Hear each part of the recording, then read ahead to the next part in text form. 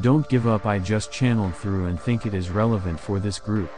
When a plant blossoms it need to be nourished, loved and at the right time it will blossom, fully surrendered to allow the flow.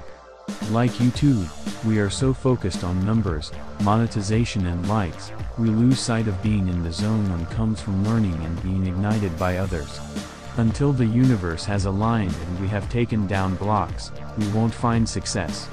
Many who have become millionaires often did from mistakes, the paperclip, sticky note etc. but they knew that there was something they were meant to do, part to play, and until you find that just do it and soon you will be guided how to.